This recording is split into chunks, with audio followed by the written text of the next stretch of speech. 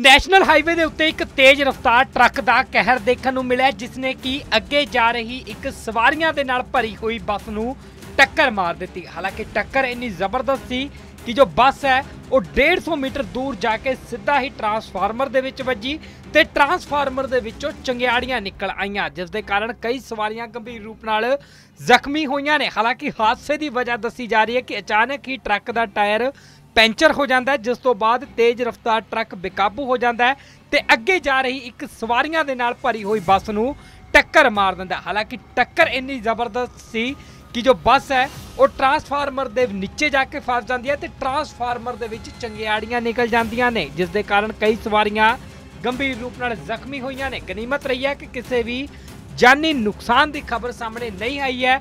National highway ਯਾਨੀ ਕਿ ਖੰਨੇ ਦੇ ਕੋਲ ਇਹ ਭਿਆਨਕ ਸੜਕ ਹਾਦਸਾ ਵਾਪਰਿਆ। ਰਾਤ ਨੂੰ 12:30 ਵਜੇ ਦੇ ਕਰੀਬ ਇਹ ਹਾਦਸਾ ਵਾਪਰਿਆ ਹੈ ਤੇ ਲੋਕਾਂ ਦਾ ਕਹਿਣਾ ਹੈ ਕਿ ਟੱਕਰ ਇੰਨੀ ਜ਼ਬਰਦਸਤ ਸੀ ਕਿ ਪਹਿਲਾਂ ਇੱਕ ਬੰਬ ਵਰਗੀ ਆਵਾਜ਼ ਆਈ। ਜਦੋਂ ਉਹ ਮੌਕੇ ਦੇ ਉੱਤੇ ਪਹੁੰਚੇ ਤਾਂ ਦੇਖਿਆ ਇੱਕ ਬੱਸ ਟਰਾਂਸਫਾਰਮਰ ਦੇ ਹੇਠਾਂ ਫਸੀ ਹੋਈ ਸੀ ਅਤੇ ਟਰਾਂਸਫਾਰਮਰ ਦੇ ਵਿੱਚੋਂ ਅਨਾਰ ਚੱਲ ਰਿਹਾ ਸੀ। ਤਾਂ ਦੱਸ ਦਈਏ ਕਿ ਜਿਸ ਦੇ ਕਾਰਨ ਕਈ ਸਵਾਰੀਆਂ ਜ਼ਖਮੀ ਹੋਈਆਂ ਨੇ। ਦਰਅਸਲ ਜਾਣਕਾਰੀ ਅਨੁਸਾਰ ਕਿਹਾ ਜਾ ਰਿਹਾ ਹੈ ਕਿ ਬਿਹਾਰ ਅਤੇ ਯੂਪੀ ਤੋਂ ਵੱਡੀ ਗਿਣਤੀ ਦੇ ਵਿੱਚ ਲੋਕ ਇਸ ਬੱਸ ਦੇ ਵਿੱਚ ਸਵਾਰ ਹੋ ਕੇ ਪੰਜਾਬ ਪਹੁੰਚੇ ਸਨ ਅਤੇ ਖੰਨਾ ਪਹੁੰਚਣ ਤੇ ਇਹ ਭਿਆਨਕ ਹਾਦਸੇ ਦਾ ਸ਼ਿਕਾਰ ਹੋ ਗਏ। ਹਾਲਾਂਕਿ ਮੌਕੇ ਦੇ ਉੱਤੇ ਪੁਲਿਸ ਵੀ ਪਹੁੰਚੀ ਹੈ ਤੇ ਮਾਮਲੇ ਦੀ ਜਾਂਚ ਸ਼ੁਰੂ ਕਰ ਦਿੱਤੀ ਗਈ ਹੈ ਤੇ ਹਾਦਸੇ ਦੀਆਂ ਤਸਵੀਰਾਂ ਵੀ ਸਾਹਮਣੇ ਆਈਆਂ ਨੇ। ਤਾਂ ਟਰੱਕ ਦਾ ਇੱਕ ਹਿੱਸਾ ਬਿਲਕੁਲ ਹੀ ਖਤਮ ਹੋ ਗਿਆ, ਜਦਕਿ ਬੱਸ ਜੋ ਹੈ ਉਹ ਬੁਰੇ ਤਰੀਕੇ ਦੇ ਨਾਲ ਭੰਨੀ ਗਈ ਹੈ ਅਤੇ ਸਵਾਰੀਆਂ ਦੇ ਗੰਭੀਰ ਸੱਟਾਂ ਲੱਗੀਆਂ ਨੇ।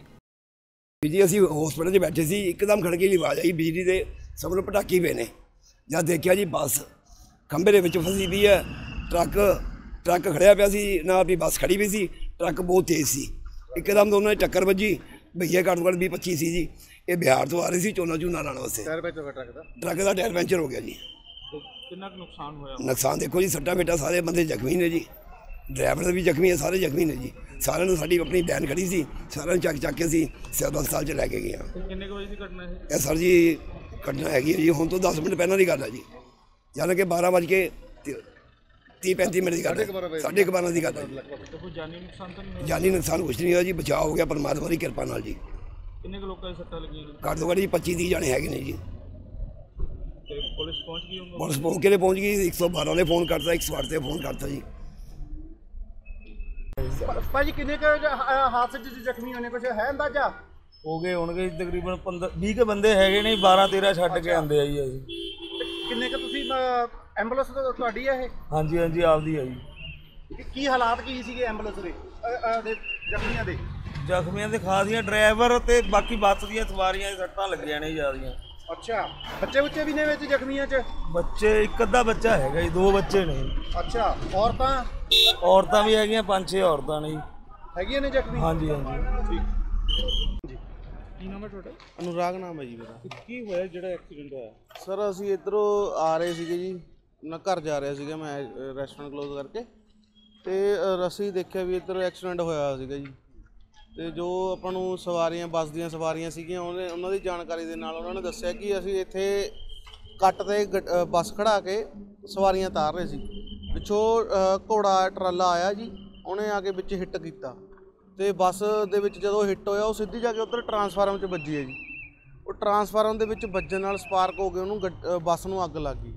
ਔਨ ਦੀ ਸਪੋਟ ਆਪਣੇ ਸਾਰੇ ਟੀਮ ਇਹਨਾਂ ਨੇ ਜਿਹੜੀ ਵੀ ਪੁਲਿਸ ਦੀ ਹੋ ਗਈ ਜਾਂ ਫਾਇਰ ਬ੍ਰਿਗੇਡ ਹੋ ਗਈ, ਜਿਹੜੇ ਨਵੀਂ ਭਰਤੀ ਜਿਹੜੇ ਐਸ ਐਸਐਫਐਕਸ ਜਿਹੜੇ ਵੀ ਨੇ, ਇਹਨਾਂ ਨੇ ਸਭ ਕੰਟਰੋਲ ਕੀਤਾ। ਤੇ ਉਸ ਤੋਂ ਬਾਅਦ ਹੁਣ ਸਾਰੇ ਲੱਗੇ ਹੋਏ ਆ ਜੀ, ਜਿੰਨੇ ਵੀ ਰੋਡ ਤੇ ਆ ਰਹੇ ਸੀਗੇ, ਜਿੰਨੇ ਵੀ ਜਨਤਾ ਆ ਰਹੀ ਹੈ ਜਿੰਨੇ ਵੀ ਲੋਕ ਆ ਰਹੇ ਨੇ, ਸਭ ਸਾਰੇ ਹੈਲਪ ਕਰਕੇ ਸਭ ਮਤਲਬ ਕਿ ਕੰਟਰੋਲ ਕਰਨ ਦੀ ਸਾਰੇ ਕੋਸ਼ਿਸ਼ ਕਰ ਰਹੇ ਬਾਕੀ ਸਾਰੀ ਟ੍ਰੈਫਿਕ ਕੰਟਰੋਲ ਕਰਤੀ ਇਹਨਾਂ ਨੇ।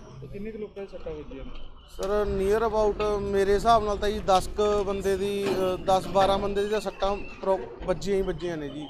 ਬਾਕੀ ਸ਼ਾਇਦ ਇੱਕ ਇੱਕ ਅੱਧੀ ਜਾਨ ਨੂੰ ਖਤਰਾ ਵੀ ਹੋ ਸਕਦਾ। ਇੰਨਾ ਕੁ ਜ਼ਰੂਰ ਹੈਗਾ ਜੀ।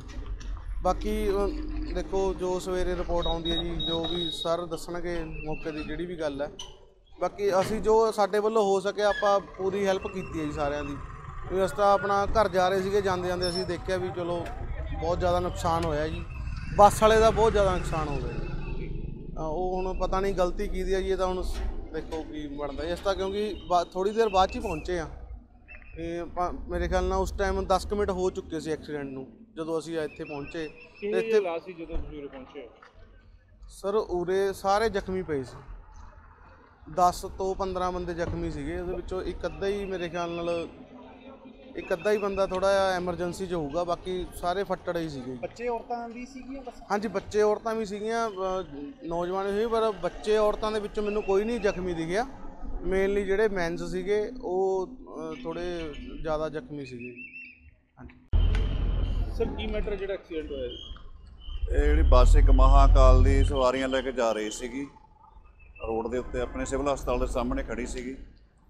ਪਿੱਛੋਂ ਇੱਕ ਟਰੱਕ ਦਾ ਟਾਇਰ ਫਟਣ ਕਾਰਨ ਟਰੱਕ ਨੇ ਪਿੱਛੋਂ ਹਿੱਟ ਕੀਤਾ। ਇਹਦੇ ਵਿੱਚ 20-25 ਬੰਦੇ ਜ਼ਖਮੀ ਹੋਏ ਨੇ। ਉਦਾਂ ਕੈਜੂਅਲਟੀ ਤੋਂ ਬਚਾਏ। ਜ਼ਖਮੀਆਂ ਨੂੰ ਸਿਵਲ ਹਸਪਤਾਲ ਖੰਨਾ ਵਿੱਚ ਦਾਖਲ ਕਰਾਇਆ ਗਿਆ। ਤੇ ਰੋਡ ਵਗੈਰਾ ਕਲੀਅਰ ਹੋ ਗਈ ਰੋਡ ਕਲੀਅਰ ਹੋ ਗਿਆ। ਟਰੱਕ ਨੂੰ ਅਸੀਂ ਆਪਣੇ ਕ੍ਰੇਨ ਦਾ ਪ੍ਰਬੰਧ ਕਰਕੇ ਪਿੱਛੇ ਹਟਾ ਰਹੇ ਹਾਂ। ਬਾਕੀ ਟ੍ਰੈਫਿਕ ਚੱਲ ਰਹੀ ਹੈ। ਤੇ ਬਾਕੀ ਕੋਈ ਕੈਜੂਅਲਟੀ ਵਗੈਰਾ ਬਾਕੀ ਆਪਣੇ ਦੋ ਤਿੰਨ ਬੰਦੇ ਸੀਰੀਅਸ ਨੇ। ਉਹਨਾਂ ਦਾ ਇਲਾਜ ਚੱਲ ਰਿਹਾ।